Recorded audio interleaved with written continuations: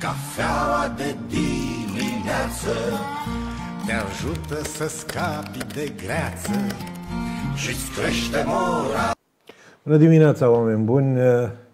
O nouă emisiune la Cafeaua de dimineață, de data aceasta o emisiune dedicată 100%, de, mă rog, eu cred 100% învățământului. Nu știu în ce măsură, având în vedere că trăim în România, nu și-a băgat coada și politicul, dar asta nu mai știm și nu putem discerne.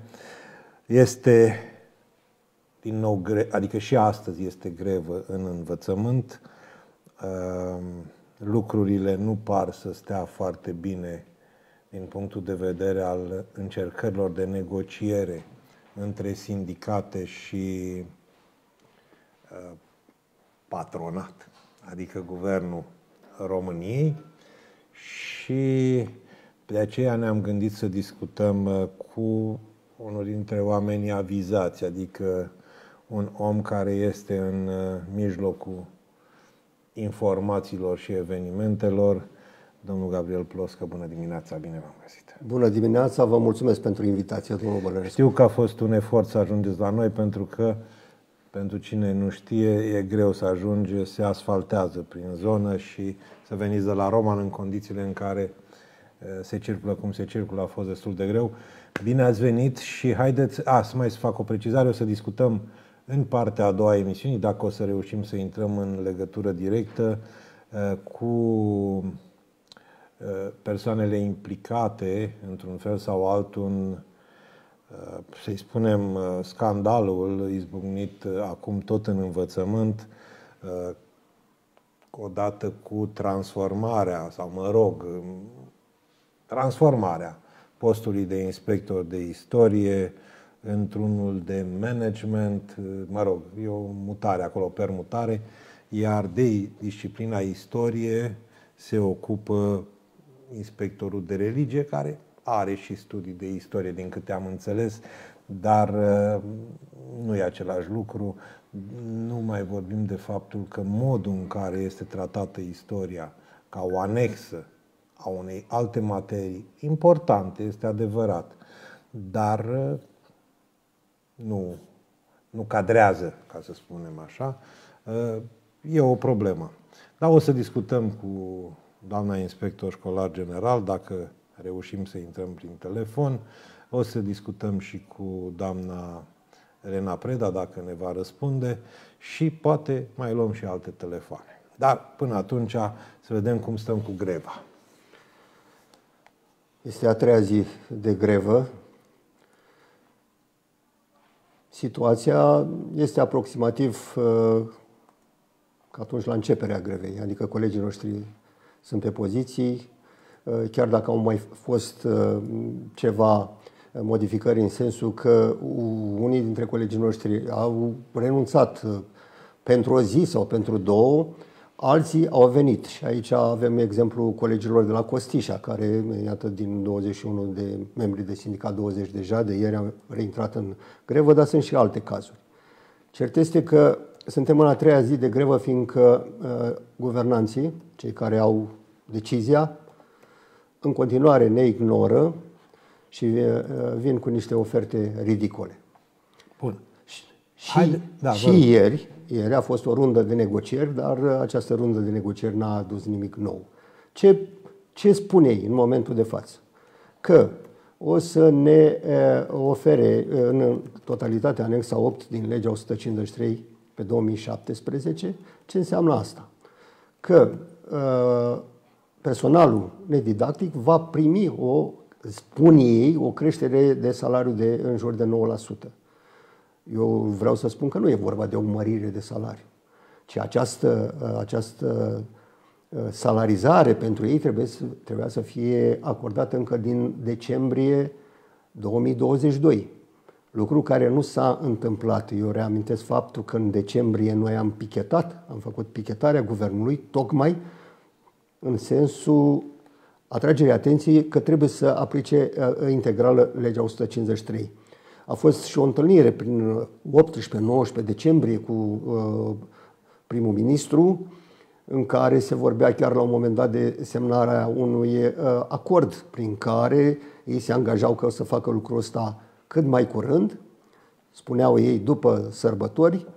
Uh, acordul acela nu s-a mai uh, semnat ministrul, domnul prim-ministru venind cu onoarea dumnealui de, de militar ca și cheză și e, spunând nu aveți încredere în onoarea mea de militar. Cert este că nu s-a întâmplat nimic, nici până în ziua de astăzi, de, de abia acum, văzând că se îngroașe gluma, cum se spune, iată, anunță cu surle și trâmbețe că se lucrează de zor la o ordonanță de urgență prin care să rezolve uh, această problemă. Adică cum să o rezolve? Adică să aplice ce trebuia să, să, să uh, aplice încă din decembrie. Că vor da această mărire. Eu n-am văzut încă draftul ordonanței de urgență. Nu știm cu ce dată se va aplica. Că s-ar putea să ne pomenim, să avem o surpriză, să, eu știu, în ante iulie sau eu știu când, uh, se spune că vineri va intra această ordonanță la guvern. O să vedem uh, ce o să se întâmple, să nu uităm că uh, se dă ordonanța de urgență, dar pe urmă, sigur, ca procedură parlamentară știm că trebuie să treacă și prin Parlamentul. Ui, uită să mai, să-i mai dea modul de aplicare. Mod, sau modul de aplicare. Da. De, uh, sunt Uh, foarte, uh, eu știu, specializați în tergiversări. Am avut cazuri în care un document oficial a fost schimbat în drum spre monitor oficial. De aceea noi nu mai avem încredere în acești oameni. Dar să revin la alte oferte. Iată, uh, sunt foarte îngrijorați acum de colegii noștri debutanți și le oferă niște vouchere, niște sume de bani într-un an de zile N-am înțeles bine, se vorbește de fel și fel de cuantumuri. Am și înțeles undeva la 10 milioane. 10 milioane, da. Și la fel pentru cei din uh, uh, școlile, din uh, uh, rural în special, defavorizate, să zicem așa. Sau, e, a, aceasta nu pare cumva că uh, suntem îmi aduce, asistați social? Îmi aduce, îmi aduce aminte de o scenă a balconului. Mai dă-le 100 exact, de lei. Exact, exact vă mai dau 100 de lei. Pentru restul personalului, nimic nou. Ori noi dorim o, o creștere salarială imediată, cât mai curând posibil pentru toți care lucrează în învățământ. Și aici mă refer la didactic, personal didactic de predare, personal didactic auxiliar, personal de didactic și personal de îndrumare și control, fiindcă toți aceștia suferă datorită acestei Bun. salarizări. Acum, haideți să le luăm un pic pe rând. Ați s-a discutat la nivelul federației situația claselor a 12 uh, Sigur că discutăm. Noi suntem profesori. Sigur că suntem îngrijorați și de ce se întâmplă cu, cu examenele. Cu, nu poți așa să te joci cu viitorul unor copii pe care tot noi i-am adus aici, deci colegii mei, până acum. Desigur că suntem îngrijorați, numai că rezolvarea problemei nu stă la noi. Este la cei care au decizia politică. Bun. Care ar fi uh, condițiile minimale pentru oprirea uh, grevei? Deci v-am spus uh, anterior că noi dorim și asta dorim. Deci am înțeles. O, o imediat, imediat. Cu aplicare imediată. Imediată, da. o creștere salarială pentru toată lumea. Nu vreau să avansez un procent, fiindcă și ăsta se poate negocia. Așa. Și apoi, în noua lege a salarizării, dorim ca poziția noastră în, în grila de salarizare să fie în așa fel încât să asigure un, un salariu decent. Și aici uh, vorbesc despre două lucruri. Mai întâi, să se pornească în această grilă de la salariul debutantului care trebuie să fie egal cu salariul mediu brut pe economie, specific cu mediu brut pe economie și de aici să încearcă uh, grila noastră, care să se ducă până undeva în jur de 4,62 pe grila de salarizare de la 1 la 12. Astea sunt dorințele uh, noastre imediate. Desigur că mai sunt și multe altele. Sunt, uh, noi nu neglijăm, adică nu e vorba numai de salarii, este vorba și de infrastructură, de, degeaba, de investiții. Uh, noi salutăm uh, investițiile care s-au făcut în infrastructură, dar nu e suficient, nu e suficient să vopsim gardul. Este nevoie de investiție în resursa umană. Este nevoie de investiție în formarea colegilor noștri care plătesc bani grei în momentul de față pentru formări ca să-și să aibă parte de acele nenorocite de 90 de credite. credite. De credite. Bun, nenorocite de 90 de credite care sunt vânate, că ele te ajută după aceea în alte lucruri, adică nu ai creditele, nu poți să-ți depui dosare pentru nu știu ce.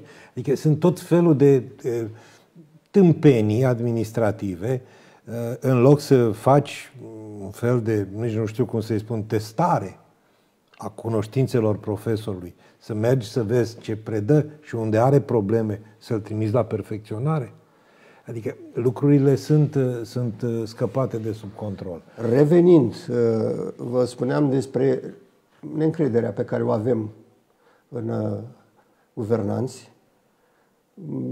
Dacă vreți, putem să facem și un istoric al semnalelor pe care le-am tras. Iată, în decembrie uh, și la guvern a fost, și la Parlament când s-a votat bugetul, am fost în stradă. După aceea, în 1 uh, februarie, iarăși pichetarea guvernului. După aceea, în o grevă de avertisment de două ore. După aceea, altă uh, pichetare la, la guvern. După care a fost acel meeting din 10 mai de proporții nemai întâlnite în ultimii ani, ați văzut și toată lumea a văzut lucrul ăsta. Deci mereu, mereu noi am încercat să... Haideți să spunem așa, ați fost tratați cu spatele. Exact. Lipsă Bun. de respect, ignoranță, poate și ignoranță, dar indiferență, mai bine spus, și lipsă de respect. Și prin asta ne-au jignit, ne-au jignit în permanență, prin această indiferență a lor. Bun, acum se vorbește așa, noi, profesorii au pornit greva asta uh, ca să avantajeze un anumit uh, partid care să nu mai preia guvernarea, că vezi, Doamne, uh, sunt probleme.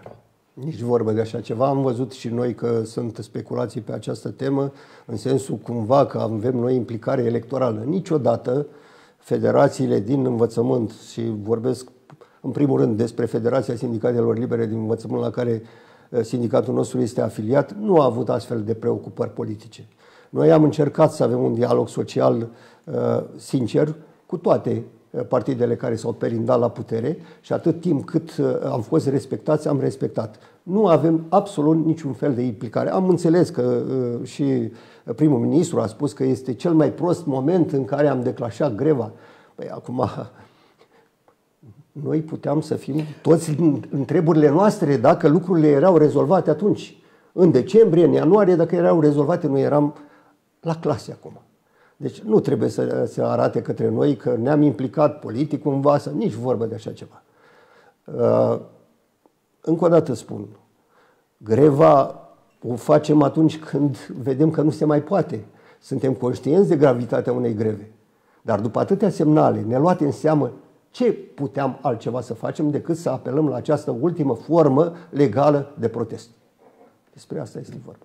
Și vreau să spun aici uh, părinților, uh, elevilor noștri, că nu suntem dușmanilor, că noi dorim ca acești copii, elevi pentru care educatoarea, învățătoarea, profesorul au depus eforturi să-i aducem, să-i îi vedem poate și ne bucurăm întotdeauna când elevii noștri uh, avem vești de la ei că au reușit, că, uite, devin cetățeni pentru țara asta, așa cum ne dorim.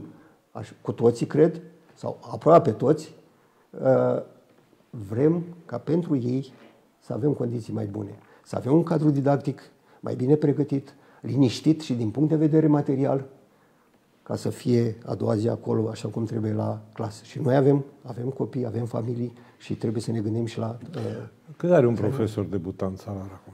2400. 2500. 2400-2500 net, da. da, da. E, în condițiile de astăzi, când am văzut toți că prețurile au luat o razna, vă dați seama cum se poate trăi în acești bani și totuși profesorul trebuie să aibă o ținută. Din toate punctele de vedere are nevoie de o carte, are nevoie pentru informare și multe altele. Și atunci? Și un profesor care ajunge la pensie? Uitați, vă, vă dau un, uh, uh, în jur de 4.000. 4.000. Este, aceste cart până la, da, până să ajungi la pensie sunt atâția ani de vechime. A, nu, dar sunt atâtea examene, ați jucat în învățământ din câte știu. Haideți și să vorbim, haideți să vorbim da. 4.000 de lei la 60 și câți ani acum, că nu mai știm, și mărește și vârsta de pensionare, așa, la 65 de ani, deja este o glumă față Trebuie de alte... să ne gândim și la nevoile vârstei. Față, față de alte lucruri. Și apoi eu am spus-o, când femeia de serviciu de la primărie are salariu mai mare ca un profesor, nu debutant, nu debutant, ca un profesor care deja are un gradul 2, e o problemă, sau șoferul, nu știu care. Nu că am ceva cu șoferul sau femeia de serviciu. Nu, este o problemă de abordare a cum să spun, ierarhiei sociale. Nu este normal ca un om care lucrează într-un domeniu de formare să, să-ți bagi joc de el. Pentru că asta se întâmplă. Este bătaie de joc. A, a, exact, asta se întâmplă și vorbeați de, de șoferul de, de la minister, de exemplu, care are un salariu de vreo patru ori mai mare decât debutantul nostru, știți? Și alte, alte uh, sunt sporuri. E greu să conduci în București. Da, așa este. Și mașina. Sunt sporuri, sporuri la, de, și la ministerul nostru, dar și la alte ministere pe care noi nici l-am visat la ele. Fel și fel, fel și fel. Pentru noi niciodată nu sunt uh, bani. Regulamentul de sporuri la noi nu se aplică niciodată. În schimb, iată, sunt bani și uh, presa uh, a relatat de, de, adesea despre măririle care s-au făcut la uh, demnitari, la alte categorii de bugetari.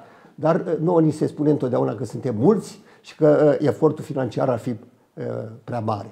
Și astfel suntem trecuți iarăși la și alții și ignorați și uh, așa mai departe. Păi tocmai citeam aseară, dacă nu mă înșel, Camera Deputaților a adoptat o hotărâre acum, uh, se va deconta naveta funcționarilor publici și a celor din serviciile care țin de administrațiile publice locale. Deci, Consiliul Local poate adopta chestia asta. Este foarte frumos, este extraordinar, dar nu e un pic cam mult? Dar mă întreb și, vă rog. De exemplu, în februarie, în februarie și-au mărit cu, nu știu, vreo 1500 de euro cheltuielile forfetare. Parlamentare. Da, exact. Deci se găsesc, se găsesc. Dar pentru educație, pentru învățământ, iată că nu se găsesc bani. Și acum, noi trebuie să vedem, am mai spus-o și altă dată, avem școli foarte bune, dar avem și școli unde lucrurile stau rău din punct de vedere al Haideți să vorbim un pic despre breasla profesorilor în grevă. Avem școli în care se face grevă aproape în da, totalitate.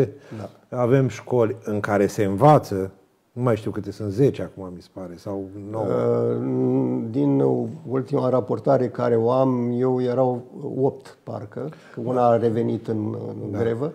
Da, da dar uh, sunt școli în care e, lucrurile se desfășoare hibrid. Lucrul ăsta bulversează pe toată lumea. Exact. Lucrul ăsta bulversează pe toată lumea.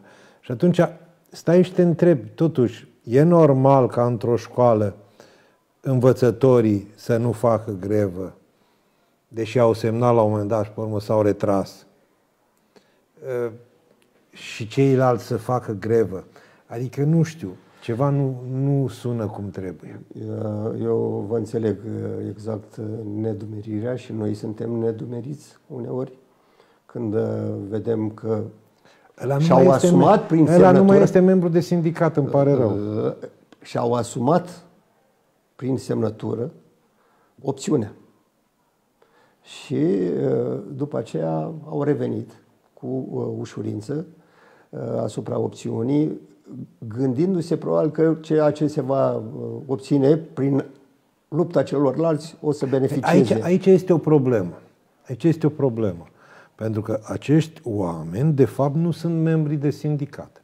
Sunt într-un fel de ceare cu beneficii sunt într-un fel de ceare cu beneficii. Îmi pare rău că o spun, sunt profesor uh, de, de meserie, ca să spunem așa, dar mm, lucrurile stau în realitate un pic mai urât decât ar trebui să stea. Așa este. Poate și noi trebuia să facem mai mult pe linia uh, formării sindicale, deși să știți că sindicatul nostru a, a făcut uh, în mai multe rânduri și mereu avem grijă ca să facem aceste formări sindicale, dar vreau să vă mai spun un aspect și mai grav. Uh, avem colegi care nu și-au asumat o opțiune. Adică n-au zis nici da, nici nu. Ei n-au nicio opinie. Este și mai grav. Ce dă guvernul, dă. Da, oh, nu, și dacă, nu, mama, avem foarte multe cazuri. De obicei, în multe, de multe ori suntem între, dar ce, ce, ce a mai făcut sindicatul, dar ce a mai dat sindicatul, dacă obținem ceva, da guvernul, dacă nu obținem, este de vină sindicatul. Ne gândindu-se că în, în sindicatul însemnăm noi toți. Bun. Astăzi aveți un eveniment în fața prefecturii. Da. Cam câte persoane preconizați că vor ajunge? Noi avem aprobare pentru 300 de colegi. Ieri Comisia de Vizare de la primărie ne-a dat acordul, dar eu cred că o să fie mult mai mulți. N-aș vrea să spun. Am înțeles. Mult mai mulți Deci la ora acolo. 11 După cum s-au pre... anunțat, păi vă dau numai școala 3. La școala 3 vor veni 65 de oameni. Bravo lor! Sunt uh, aproape 100 care vin de la Roman. Sunt 50 care vin de la, de la Târgu Neamț. Plus ce vin de aici o să fie sute bune. Bravo lor, foarte bine. Adică trebuie cumva rezolvate problemele astea odată și odată, să spună toată lumea, domne, ce atâția bani? Uh, ar trebui cine, cine vorbește să facă niște comparații. Niște comparații. Mâine va fi și un meeting național. Da, da, da. Deci noi astăzi ce vom face? Ne vom duce încă o dată să, să spunem acolo răspicat care sunt revendicările noastre și în același timp Cred că vom spune și faptul că nu vom ceda, că vor rămâne în această formă de uh, protest până când se găsesc soluții. Mâine, într-adevăr, federațiile din uh, educație organizează un marș și un meeting și un marș de mari proporții în București. Uh, ceva asemănător cu cel care a fost în 10 mai. Încercăm prin toate formele posibile ca oamenii care au decizia să înțeleagă. Eu sunt dezamăgit de, de uh, această clasă politică. Nu contest că sunt și oameni de, de bună credință printre ei, dar eu nu înțeleg. Văd ce se întâmplă, iar ei vin în continuare cu acele, uh, aceleași promisiuni mincinoase. Dacă s-a dat prea mult în altă parte, la învățământ... În... Exact. Acum o să vedeți că vorbim de uh, creșterea bugetului la apărare pentru, sigur, Înțelegem situația. Este da. simplu. Eu zic să treacă Ministerul Învățământului la Ministerul Apărării. Dacă tot a trecut istoria la religie, poate să treacă și Ministerul Învățământului la Ministerul Apărării. Nu înțeleg de ce. Și atunci, probabil că veți putea primi niște bonusuri. Uh, ce rămâne de la casarea unui submarin pe care îl vrem să-l cumpărăm? Probabil gata casat. Uh, de... Astăzi am înțeles că colegii noștri vor fi din nou la negocieri noi, după amiază, la ora 16, avem întâlnire în Colegiul Național al Liderilor pentru a analiza din nou situația și o să luăm deciziile care o să ajungă la toți colegii noștri. Dar în momentul în care vorbim, greva continuă. Da. Păi, ce pot să spun? Noi vom fi astăzi la prefectură să vedem ce se întâmplă acolo și o să transmitem și o să rezolvăm, adică o să fim acolo să vedem ce, ce reacție are prefectura, vine cineva să discute cu dumneavoastră, nu vine, așa. Până atunci însă vreau să trecem la partea a doua a emisiunii, dacă doriți puteți rămâne, dacă da. trebuie să plecați, puteți pleca, că știu da, că aveți sunt treabă. În ajun, sunt da, multe eu vă mulțumesc pentru participarea la emisiune și trecem la partea a doua. Deci, și eu vă mulțumesc și că mi-ați dat prilejul încă o dată și prin intermediul uh, postului dumneavoastră de televiziune să spunem realitatea, ce se întâmplă în, în sistemul de învățământ în momentul de față. Vă mulțumesc.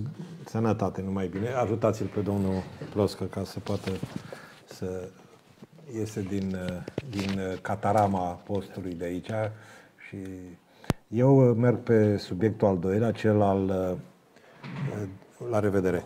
Cel al uh, inspectorului de istorie, uh, post care, din ce citim de la dintr-un material primit la redacție, încerc să ajung acolo. Profesorii de istorie cer explicații pentru desfințarea postului de inspector de istorie. Uh, într-o scrisoare adresată doamnei ministru Ligia Deca și doamnei inspector școlar județean Neamț, doamnei uh, Florentina Moise, uh, se spune că am aflat cu surprindere că în Consiliul de Administrație ISJ s-a decis desfințarea postului de inspector de istorie și transferarea atribuțiilor specifice acestuia către inspectorul de religie. Decizia este cu atât mai neașteptată cu cât vine în contextul adoptării în Parlament a legii educației care va aduce o arhitectură instituțională nouă, dar și în contextul declanșării grevei generale din învățământ, în care nu se protestează doar pentru salarii, dar și împotriva politizării excesive a sistemului de învățământ.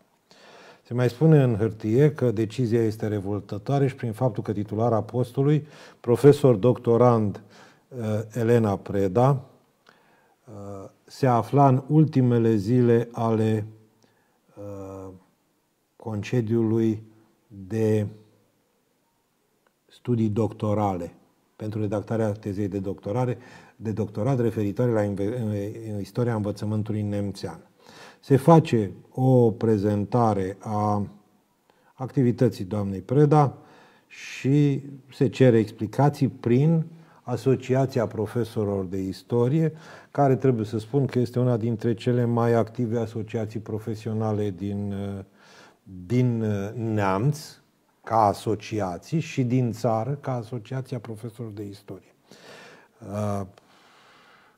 Eu trebuie să spun de la început că sunt uh, de partea celor care consideră că nu este normal ca de disciplina istorie să se ocupe un profesor care are și alte atribuții în inspectorat. Pentru că nu este normal. Dar decizia este administrativă și de aceea o să încercăm acum să luăm legătura cu doamna Florentina Luca Moise, uh, inspector școlar general, să vedem care este uh, punctul domniei sale de vedere și rațiunea acestei schimbări, acestei modificări. Dacă reușim să intrăm în direct. Bună dimineața, doamna inspector general. Alo? Bună dimineața! Bună dimineața! Uh, Așa cum uh, am discutat, v-am sunat pentru a oferi punctul dumneavoastră de vedere cu privire la uh, desfințarea, mă rog, nu știu dacă e corect, desfințarea postului de inspector de istorie. Da, că bună dimineața. Este greșit formulat. Nu se desfințează postul de inspector de istorie. Am uh, primit un memoriu de la asociație în care s-au semnalat anumite aspecte, unele pertinente, unele răutățioase, din păcate, și cu tentă politică. Și încă din start, domnul Bălănescu, vreau să discutăm despre acest subiect și punctul meu de vedere nu va avea nicio nuanță politică. Vă rog. Pentru că situații de acest gen au fost și sunt și la ora actuală în inspectoratul școlar nu are legătură cu, anum, cu anume persoană. Uh, suntem vremelnic uh, trecători uh, și că nimeni nu ia statutul și recunoașterea meritelor profesionale a unor colegi cadre didactice. Noi suntem uh, constrânși la nivelul uh, județului în inspectoratul școlar județean Neamț de un număr de norme, mai exact 21,5 norme de inspector școlar pentru tot județul. Și mai sunt situații, spre exemplu, socio-umane, arte, biologie, unde nu avem inspector școlar. În schimb, județul Neamț nu rămâne fără inspector școlar pe aceste discipline, deoarece uh, sunt inspectori școlari, vă dau uh, un uh, exemplu, de chimie cu atribuții și pe biologie, deci a preluat sarcinile și pentru această disciplină și pentru colegii de chimie. La momentul actual aceasta este situația. Uh, fiind într-o situație în care uh, colega, uh, fosta noastră colegă din inspectoratul școlar, doamna Elena Preda, de șase luni de zile a fost în concediu pentru studii și am respectat acest drept. A fost respectat printr-o hotărâre de Consiliu de Administrație unde a fost, i-au fost apărate drepturile de către sindicat. Uh, Uh, s-au pus în aplicare și că atribuțiile au fost preluate de domnul inspector Giosan cu uh, un inspector cu uh, o carieră profesională bună, uh, care, uh, din fericire, am avut omul potrivit în inspectoratul școlar, pentru că are și studii, da, și studiile îl ajută foarte mult uh, pe domnul Giosan și a preluat și atribuțiile pe istorie, iar lucrurile timp de șase luni de zile au mers foarte bine. Au Având mers foarte bine cum? Că nu, nu. Adică... Îndeplinind sarcinile de îndeplinind sarcinile de serviciu din fișa postului a uh, colegei uh, noastre care uh, a lipsit în, în Care a lipsit făcând o, făcând o lucrare de doctorat despre învățământul din Sigur. neamț. Adică... Nimeni, nu contestă, nimeni nu contestă acest lucru. Ceea ce se întâmplă, că am văzut petiția uh, trimisă, memoriu mai exact, a ajuns și la inspectoratul școlar. Nimeni nu contestă și inspectoratul școlar sprijină activitățile tuturor asociațiilor, fundațiilor, ONG-urilor care promovează activitățile că, Uh, pentru învățământ, pentru elevi, pentru cadrele didactice, uh, pentru renumele uh, județului.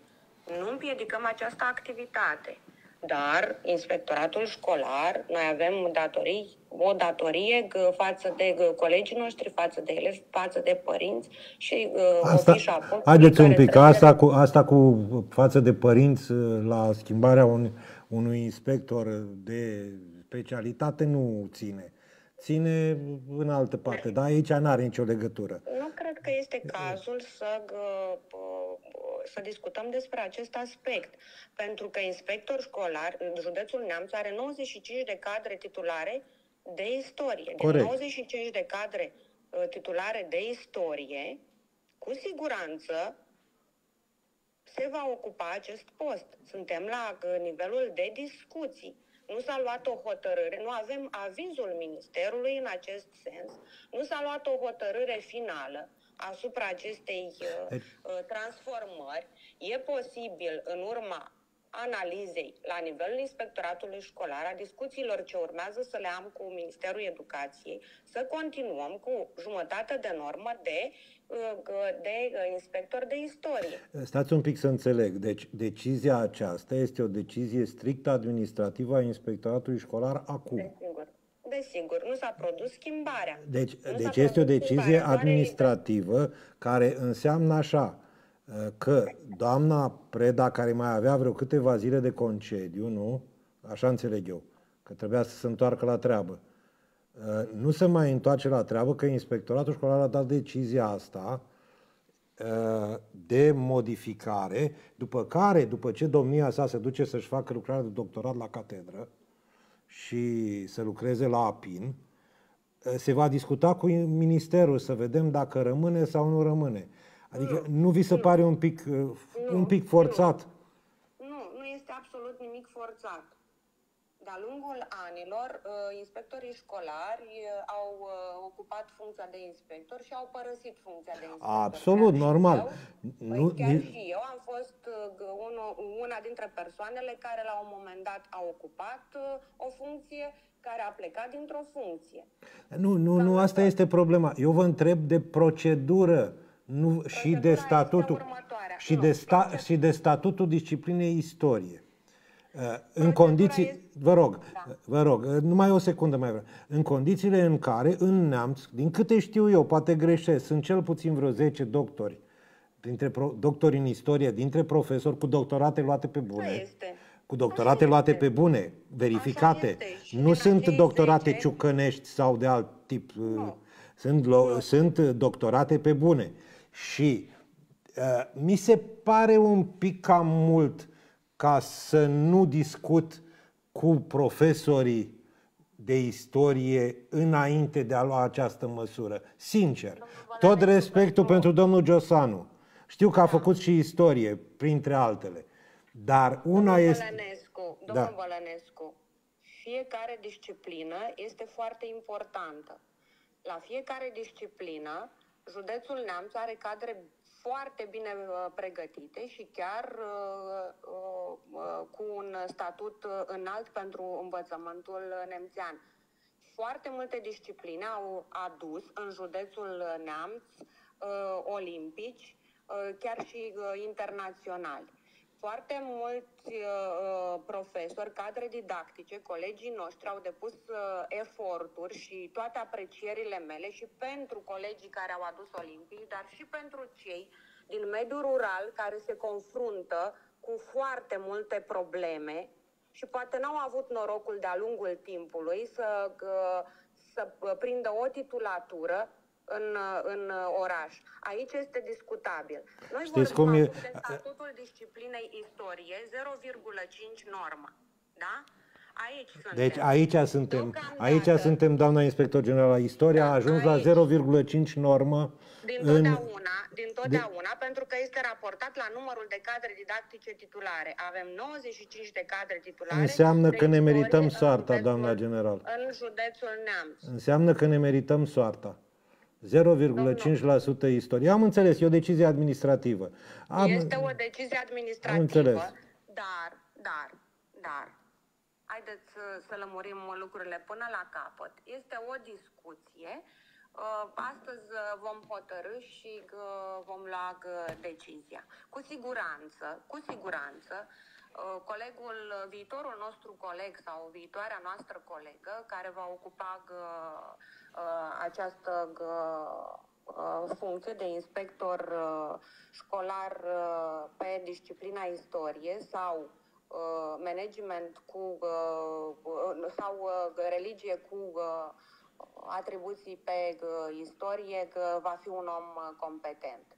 Din punctul meu uh, de vedere, eu cred că vom vorbi de uh, un, uh, Înțeleg.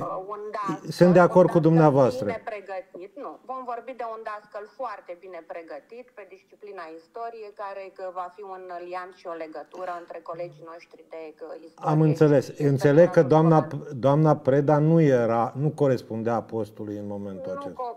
Nu comentez, părerile sunt pro și contra, aceasta este de decizia și s-a pus la Am înțeles. Am înțeles. Eu vă doresc să găsiți un om bun, dacă se poate să fie eventual uh, din Roman uh, sau din uh, Târgu Neamț. Vă doresc... Județul e mare. Județul ah, am este, înțeles. Județul este mare am înțeles. și cu siguranță da. va ocupa funcția Mulțumesc tare mult, vă doresc o zi bună, numai bine, la revedere.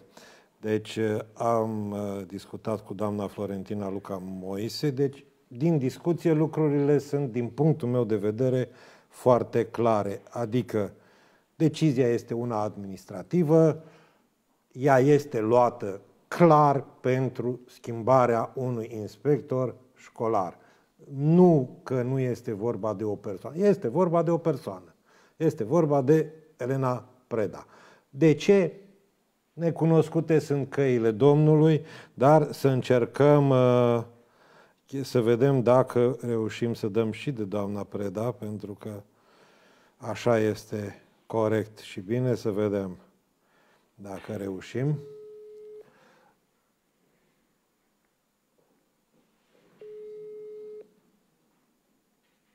Bună dimineața! Bună dimineața! Uh, sunteți uh, subiectul părții a doua emisiunii Cafeaua de dimineață. Tocmai am discutat cu doamna inspector școlar general, care ne-a spus că este o decizie administrativă, că ea s-a luat pentru... N-am înțeles motivul pentru care s-a luat, probabil ca să transforme ceva în altceva. Uh, nu știu dacă ați văzut discuția, eu sper că da, ca să puteți să ne spuneți și punctul dumneavoastră de vedere. Da, am urmărit discuția.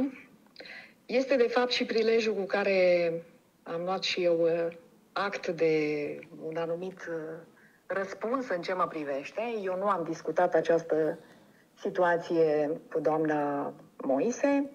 De fapt, mai bine zis, nu a discutat ea cu mine.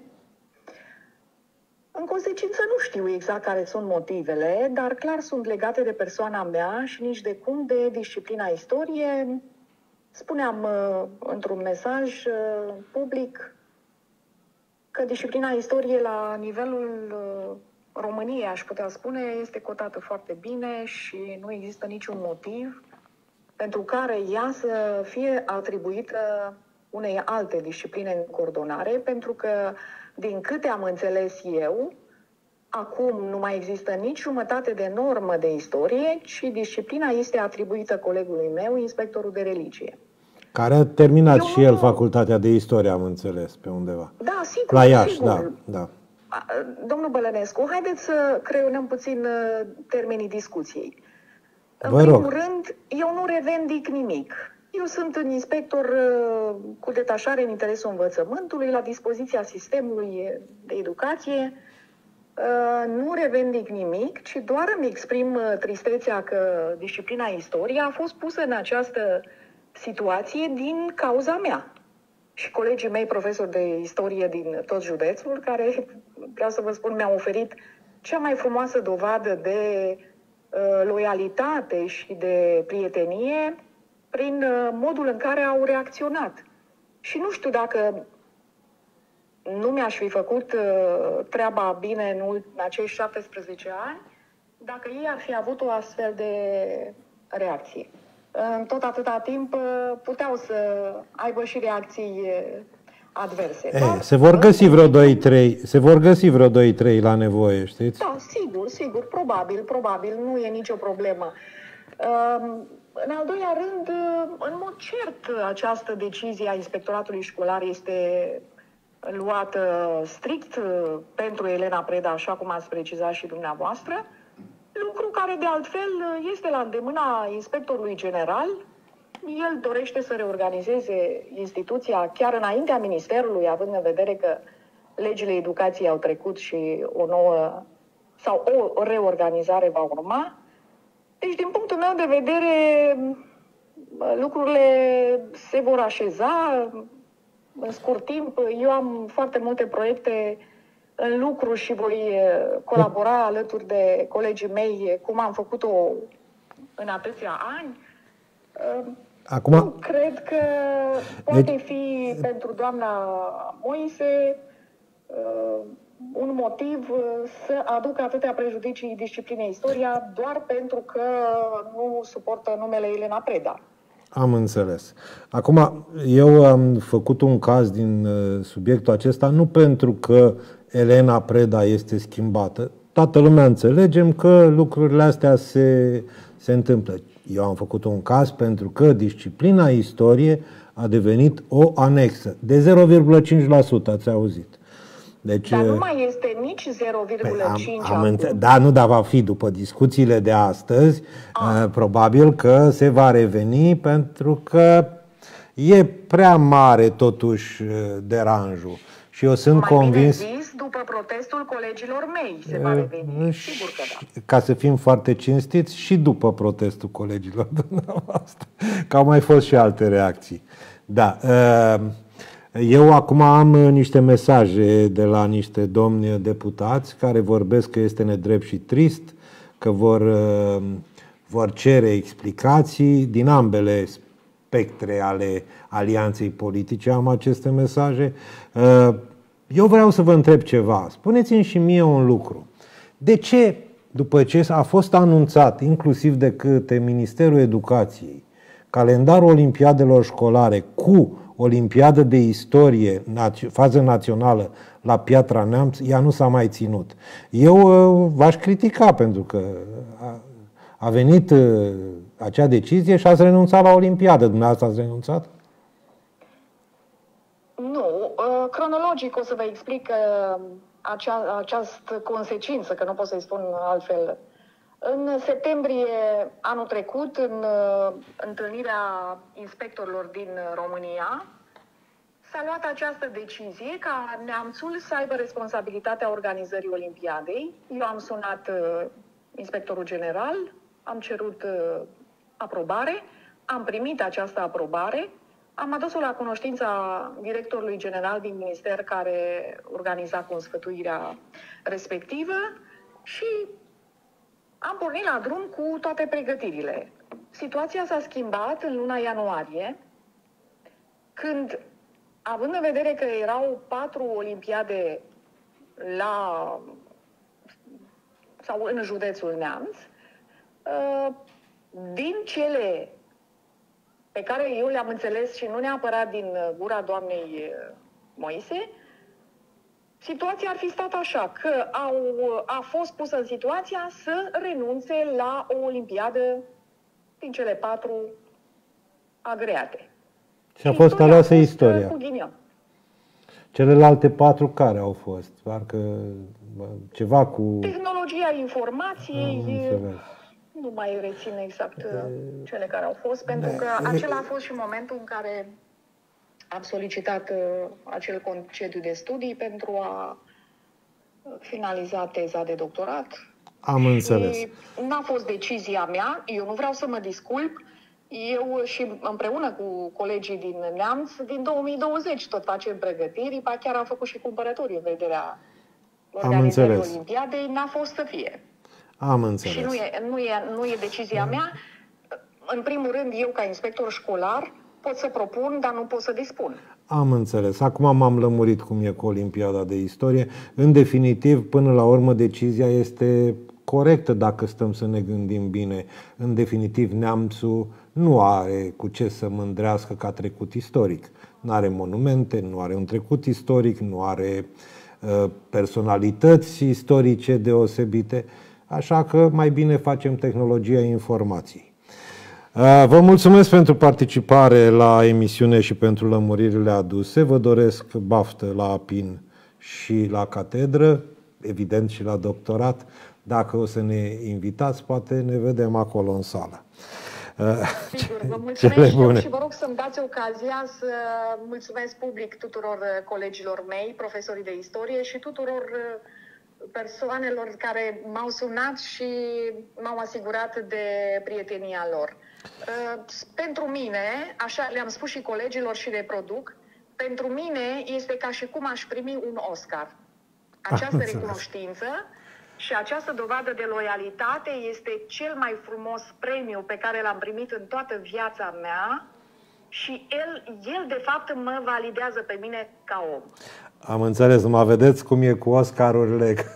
Acum un an s-a lăsat cu s-a lăsat cu cu bătaie. Eu sunt o persoană violentă și cu siguranță nici nu provoc niciun fel de Bine, acum trebuie să recunoaștem, trebuie să recunoaștem că nici doamna Florentina Moise nu este prezentatorul de la Oscar, știți?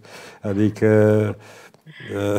da, nu... de data asta totuși a picat testul uh, comunicării, pentru că în management comunicarea este de bază, având în vedere că n-a purtat cu mine nicio discuție. Am înțeles. Vă mulțumesc, Doamne ajută, sănătate, numai bine. Mulțumesc și eu. La revedere. Aceasta a fost uh, discuția. Trebuie să spunem că dincolo de explicații, de faptul că, domne, am reorganizat, că istoria nu e foarte importantă sau este importantă. Este clar o decizie administrativă a unui inspector școlar general care a vrut să schimbe un om. De ce? Că nu se înțeleg. Că, dar măcar, dacă faci lucrul acesta, fă-o fără să afectezi disciplina în sine. Pentru că dacă ce spune doamna Preda, că nu mai există jumătatea aceea de catedră, deci jumătatea de, mă rog, normă pentru istorie, ca normă așa, este un prim pas pentru uh, alte și alte asemenea lucruri. Iar când spui că și alte discipline nu au inspectori, să-mi fie cu iertare, este numai și numai vina celor care se ocupă cu așa ceva. Dacă ești eh, să te bați acolo, te bați la minister, te duci și te bați să ai norme de inspectori. A, că așa s-a organizat la nivel de țară? Păi de aia este grevă, oameni buni. Pentru că inspectoratul, învățământul românesc este prost organizat. Și prin noile legi ale educației, legea DECA, nu știu cum să o numesc, Câmpeanu Ioanis, servicii, neservicii, așa, ă, nu se întâmplă nimic profund pentru învățământ, sunt doar niște șmecherii administrative puse acolo. Deci, acestea fiind zise, vă doresc o zi bună. O să urmărim subiectul, să vedem cine va fi inspector de istorie pe jumătate de număr și tot așa. Ne oprim aici și vă dorim cele bune.